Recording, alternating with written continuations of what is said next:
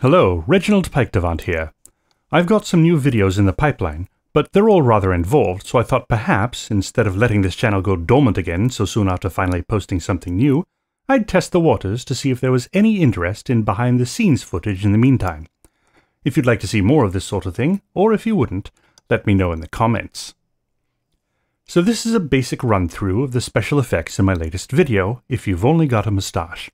If you didn't notice the special effects, you're not alone. My own parents watched it thrice in a row and didn't notice any.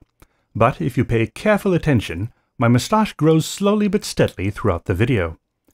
Unusually for my videos, I shot it as a single long take, so that there would be no question of whether I'd shot a segment, let my moustache grow a bit before shooting the next, etc. As you can see here, I glued some small beads to my face as tracking markers, mostly around the mouth. I then brought the footage into Blender, a rather powerful 3D modeling and animating program that also happens to be free, and tracked all of the beads. I did have to make some manual adjustments, as my moustache tended to obscure those beads closest to it, but all in all it gave me some fairly decent tracking.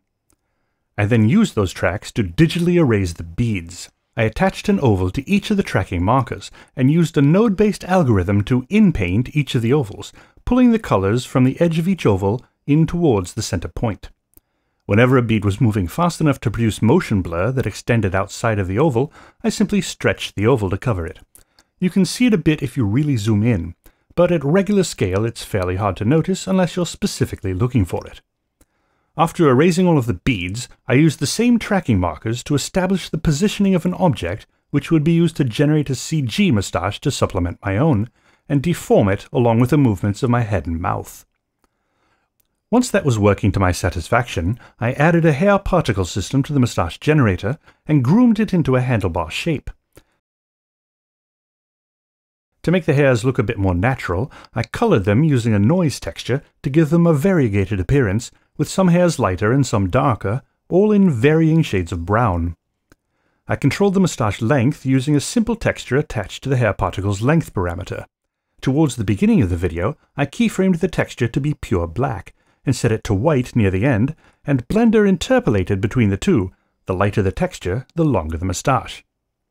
After rendering the animation out, I brought it into DaVinci Resolve for some color grading to make it look a bit more vibrant, and that about did it. So that was my process. I hope you enjoyed seeing it.